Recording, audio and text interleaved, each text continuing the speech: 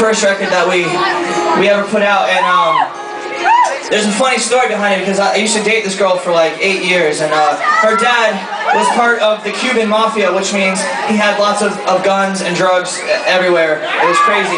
And the reason I knew was not because I saw the guns or the drugs. It was because he had this like this this chest full of hair. It was like it was like an oak tree or something. It was it, it, it was it literally stuck out to here. It was like a fro. It was like an afro of chest hair.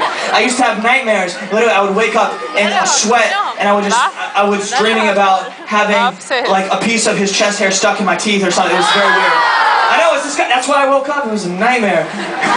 Uh, but so pretty much what happened was um, I wasn't allowed to kiss her or hug her or anything around her her dad because he was gonna stab me in my eyeball.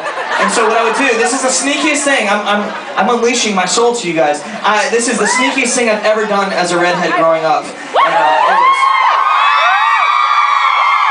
I would wait for her dad to go to sleep both eyes because he used to sleep with like one eye open. It was so creepy. But he would go to sleep and I would sneak from my house out my window just like this. I want to be very visual so you guys can really get inside the story. Hold on, it was a long walk. And so I would get to the house, and I would knock on her window and wake her up, and I would sneak her outside her window, and I would take her down to the beach that we both lived by, and we would stay there all night long, and we would hook up either until the sun came up or the cops came and broke it all up. And uh, it was one of the coolest things I've ever done as a kid. And um, and so what I would do is at the end of the night, as the sun was coming up, I would sneak her back in her window, and because I am a gentleman, I would dust off the sand off her feet so that there was no evidence and then I would kind of launch her back into her room.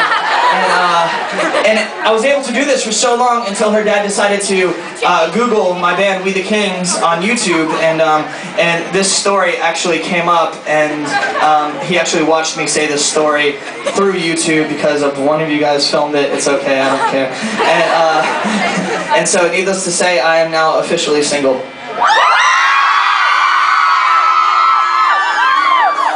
This is my favorite song off our first record, and it's kind of all about that.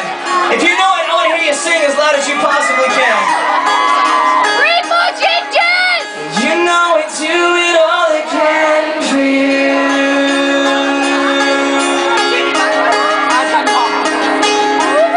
I couldn't sleep last night. I walked alone on the beach where we always used to go.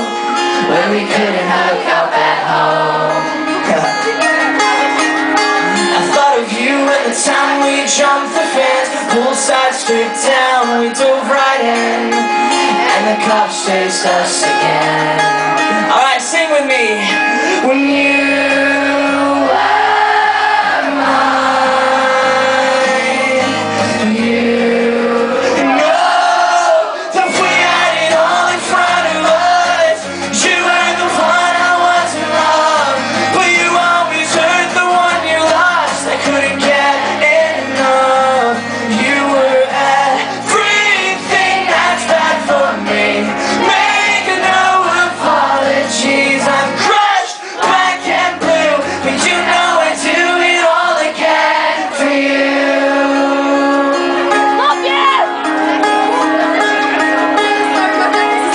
beautiful. Let's try that one more time, okay?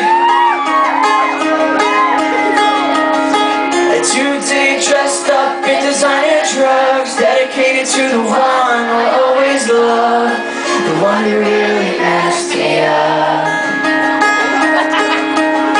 I let you take the wheel and the driver's seat, strapped in so you get the best of me. And now what's left's all a memory. Alright, one more time, sing. You.